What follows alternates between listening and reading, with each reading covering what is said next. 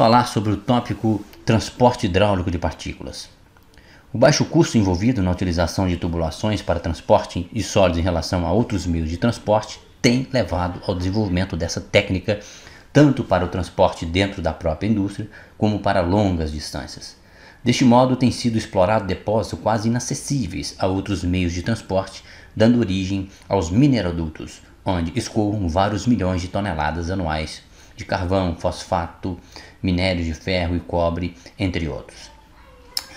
Aqui nós temos um esquema básico onde nós mostramos então um tanque onde a agitação mantém essa suspensão da forma mais homogênea possível e uma vez homogeneizada essa suspensão, obviamente que testes preliminares em escala piloto e escala laboratório vão dizer que tipo de mistura é obtida, se é uma mistura do tipo homogênea ou se é uma mistura do tipo heterogênea.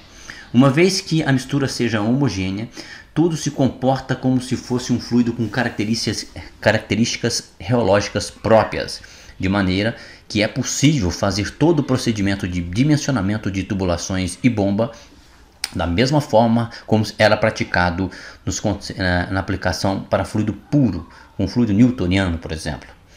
A questão é que esse fluido não será um fluido, essa mistura é, com características geológicas próprias é, fugirá né, do tradicional fluido newtoniano, de maneira que a, a partir, por exemplo, de modelos como de Ostwald Valley, é possível caracterizar essa mistura e com gráficos adequados de Moody, gráficos de Moody é, modificados, obtém-se o fator de atrito para aquela situação.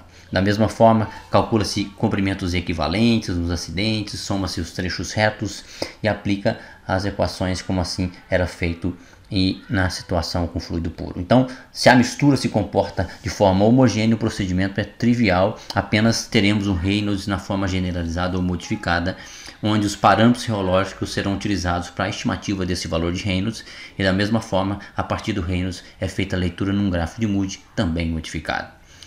Agora, se essa mistura é uma mistura do tipo heterogênea, ou seja, há uma tendência natural de sedimentação desse material, é preciso, é necessário que essa, esse transporte ocorra sob determinadas condições. Uma das condições importantes é garantir que a velocidade seja a mínima, é, que na verdade é acima da velocidade limite de transporte. Os projetos ou os dimensionamentos tratam essa situação com 20% de segurança acima da velocidade limite de transporte. Obviamente que existem flutuações nas condições operacionais do processo que podem repercutir tanto no dimensionamento das partículas, às vezes até mesmo na densidade média ou bulk desse, dessas partículas, pode influenciar também na capacidade que está sendo processada. Em virtude disso e várias outras situações, até como a questão da temperatura ambiente e tudo mais, é necessário garantir um 20% sobre a, acima da velocidade limite de transporte. A velocidade limite de transporte é aquela em que o fluido que está sendo transportado garante que não seja depositado no fundo do seu tubo. A formação de dunas de fundo, material de fundo, pode não ser interessante, apesar de que o transporte, às vezes, nessa situação de fase densa, pode ser interessante. Do ponto de vista econômico, também é praticado. A principal diferença do transporte hidráulico é que a fase fluida é um líquido, ao contrário do transporte pneumático, onde a fase fluida é um gás. Isso representa uma grande diferença, já que a diferença de densidade entre um fluido ar e o fluido água é bastante considerável. Um é da casa de 1,2 vezes 10 a menos 3 gramas centímetro cúbico contra 1 grama por centímetro cúbico, quase mil vezes maior a densidade do líquido. Isso implica num del, uma diferença de densidade que vai repercutir nos balanços de forças que vão agir nessas partículas, como por exemplo a, a força de arraste, mas acima de tudo isso vai repercutir na prática na densidade, uh, no peso aparente, ou seja, a relação peso menos empuxo. Obviamente que manter em suspensão uma partícula num gás é muito mais difícil do que mantê-la em suspensão no meio líquido. Consequentemente, o transporte pneumático é restrito a pequenas é, comprimentos né, de tubulações para transporte, dada a dificuldade de manutenção dessa suspensão a longas distâncias. Muito por conta disso.